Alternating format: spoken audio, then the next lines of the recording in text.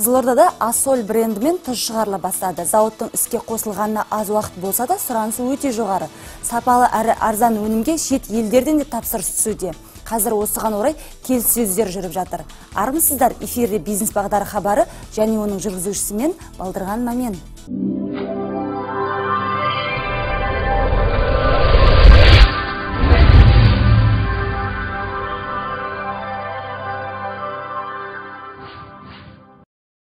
бұл тау болып үйіліп жатқан карьерден арнайы қазылып әкелінген тұз. Әрине мұны біз дәл бұл күйінде пайдаланбаймыз. Бұл шикізат. Бұл бірнеше сатылы өңдеуден өтеді. Сосын барып тұтынушыға жөнелтіледі.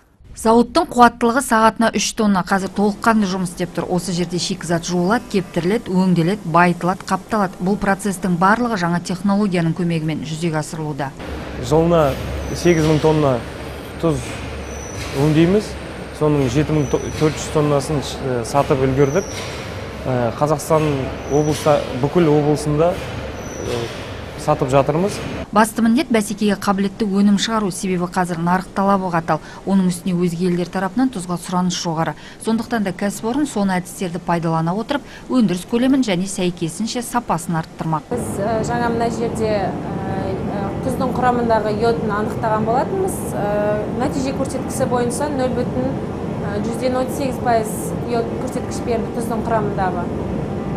Сосын мына жерде біз тұздың ылғалдылығын өлшедік. Тұздың ылғалдылығы осы бірінші бүгінгі сменнің бірінші партиясы бойынша нөл бүтін жүзден он процент ылғалдылық берді. Сырелі арал тұз өнімімен әлемдік нарықты жаулады енді міне оның қатарына ассоль қосылды. Натрий хлоридінің табиғи мол қорын тиімді пайдаланудың нәтижесінде облыстың экономикалық әлеуеті артуда. Себебі ас тұзы дүниежүзінде ең көп пайдаланылатын өнім. Облыстық кәсіпкерлер палатасының аудандардағы филиалдары аудан тұрғындарының кәсіпкерлікпен айналысуына олардың қажетті бизнес кеңестерін алып кәсібін дамытуына көмек қолын беріп келе жатқан бірде бір ұйым. Жыл сайын кәсіпкерлер палатасы бизнес өкілдері арасында есептік кездесу ұйымдастырады.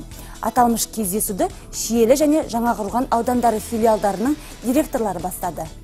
Кәсіпкерлер палатасының шиелі аудандық филиалында бизнес кеңесші жобасы аясында 184 адам оқып біліктілігін жетілдіріп жалпы құны 650 миллион 820 мың теңгені құрайтын жобалары қаржыландырылды.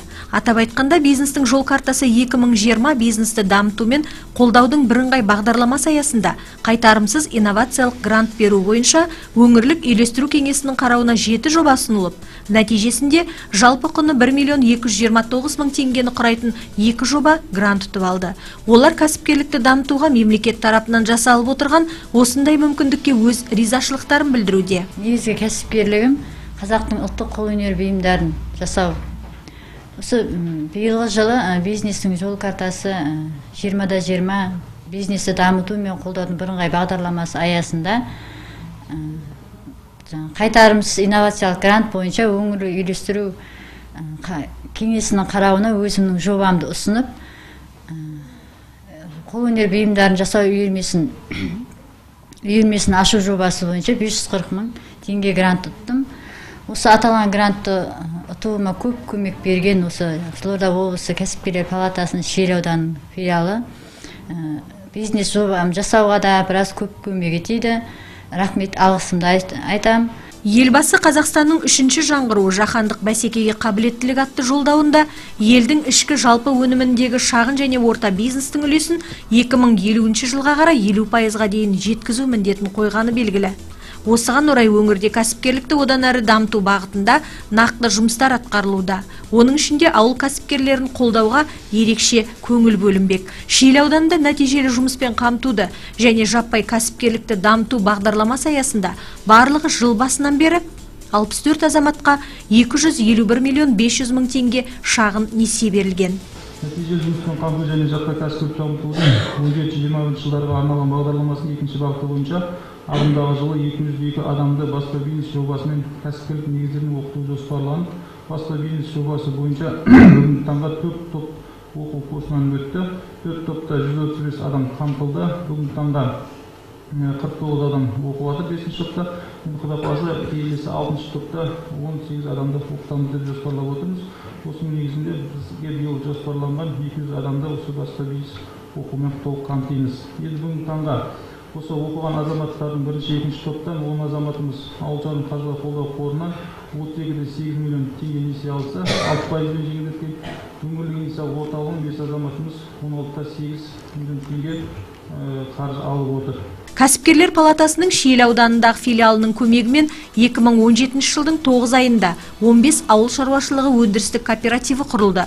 Оның ішінде ырыс береке бағдарламалары аясында 50 ауыл концепциясы бойынша аудандағы 4 ауыл шаруашылығы өндірістік кооперативінің 118 мүшесі 398,6 миллион теңге қаржы алған. Кәсіпкерлер палатасы тарапынан көрсетіліп отырған қолдауға аудан тұрғындары жиын барысында өз ризашылықтарын білдірді.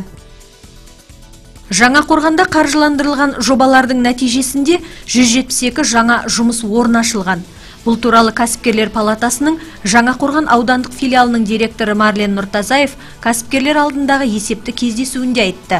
Филиал директорының айтуынша, аудандағы кәсіпкерлерге қолдау көрсету орталығы кеңесшілері мен осы жылдың 9 айында 736 адамға мемлекеттік бағдарламалар бойынша 1293 әртүрлі кеңестер беріліп, кәсіпкерлерге 193 бизнес жоспар жасалған және 148 сервистік қызмет көрсетілген. Бұл қызметтердің барлығы тегін.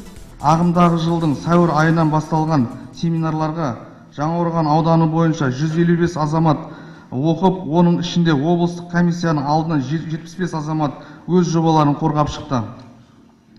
Осы аталған жобалар аудандық кәсіпкерлер палатасының сүйемелдеуімен бүгінгі күнге дейін барлығы 134 жоба қаржыландырылды оның ішінде өңірлік инвестициялық орталық жауапкершілігі шектеулі серіктестігінің талабына сәйкес аудан бойынша 47 жоба несие алып өз жұмысын жүргізуде.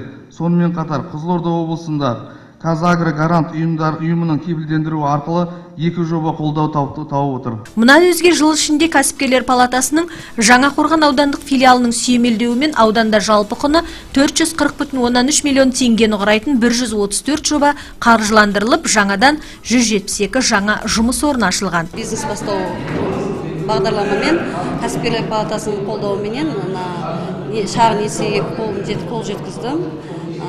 Құдай қаласа мына малдарымызды жайлап алып жатырмық бұрыннан да кәсіпті айналдырып жүрген неміз жаңағы азаматпыз ғой бірақ енді осы кәсіпкерлер палатасының арқасында көп нәрсеге қол жеткіздік.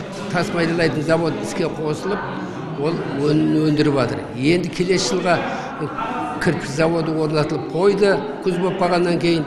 Железобетонный завод оны да енді орнатып жатырмыз. Келесі жылы соның барлығы болып барлығы алпыс адамдай жұмыспен қамтитын жағдайға келдік. Мен осы кәсіпті бастағаныма бір жарым жылдың көлемі болды. Осы кәсіпті бастамас бұрын кәсіпкерлер палатасының бүкіл кеңес сүйемелдеуімен кеңес кеңестерін ақыл кеңестерін алып мен аштым. Осы қазіргі таңда үш адам үш адамды жұмыспен қамтып жатырмын. Және де елбасымыздың қолдауымен риц несінен? Рицтан мен 3 миллион теңге 3 миллион теңге несие алдым. Сондай ақ аудан көлемінде жеке секторда өндірілетін ауыл шаруашылығы өнімдерін өткізуді қамтамасыз ететін 48 ауыл шаруашылығы өндірістік кооперативі құрылып филиалдың көмегімен алтауының қаржыландырылуына сүйемелдеу жасалған.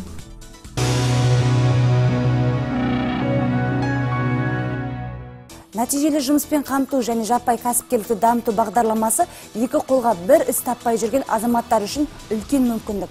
Арал ауданында биыл 300-ден астам тұрғынға кәсіптік білім беру жоспарланған. Соңғы уақытта бұл ауданда шаштараз тігінші кондитер мамандықтарын игеріп жеке бизнесін бастағысы келетіндер қатары артып келеді.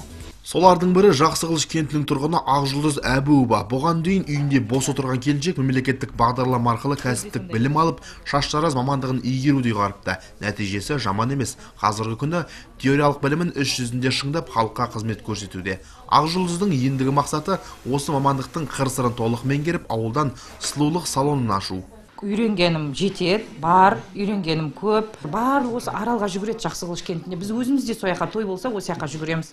Сол себепті сұлулық салонын ашу ойыма не қылды. Күйеуіміз екеуміз ақылдаса келе осындай ойға тоқтадық. Мұнда ақ жұлдыз сияқты отызға жуық жұмыссыз жас шаш қырқу сәндеу тырнақ әрлеу жұмыстарын білікті мамандардан үйренуде. Әрине барлық қызмет түрі тегін. Жалпы аудан бойынша жыл соңына дейін 300-ден астам адамды қысқа мерзімдік кәсіптік оқыту жоспарланса бүгінге дейін олардың жартысы курсты тәмамдап сертификат алды. Тұрақты жұмысқа тұрғандар да бар. бір жүз қырық бір адам қысқа мерзімді оқу курсын аяқтап қазіргі таңда отыз адам тұрақты жұмысқа орналасты. Бұл азаматтар осы қыркүйек айының аяғында аяқтаған болатын. Қазіргі таңда бір сексен үш адам қысқа мерзімді оқу курсын әлі жалғастыруда. Жұмыссыз жүрген азаматтардың көбісі кәсібін дамытуға ауылдық жерлерде осындай жұмыс орындарын ашуға көп ниет білдіріп отыр. Тігіншілік қашанда сұранысқа ие мамандықтардың бірі. Сондықтан кәсіптің бұл түріне қызығушылық танытқандар да аз емес. Олардың бірі айнұр есова. Жастайынан тігінші болуды армандаған ол бүгінде білікті ісмерлерден сабақ алып тігін мәшинесімен жұмыс істеуді үйреніп жатыр. Осы мамандық бойынша оқып жатқаныма ризамын. Келешек алда осындай осы тігін мамандығынан жұмыс істегім келеді. Өзімнің арманым. Осы тігіншілікті үйреніп алып өзіме бір көйлек тігіп алып сөйткім келеді.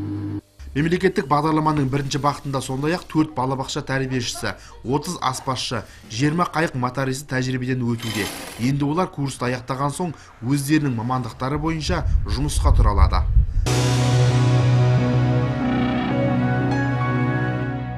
Аймағымызда нәтижелі жұмыспен қамту бағдарламасын жүзеге асыру басталғалы бері шарапатын көруші азаматтарымыз күн санап көбеюде. Мемлекет тарапынан шағын және орта бизнесті дамытуға арналған аталмыш бағдарламаның әлеуеті жоғары. Өз кәсібін ашып шаруасын бастаймын деген жанға кәсіпкерлер палатасы тарапынан барынша көмек көрсетіледі. Бай болу үшін кәсіп керек ал кәсіп болу үшін бизнес сауаттылық қажет. Әрдайым ізденісте болайық келесіде жүздескенше.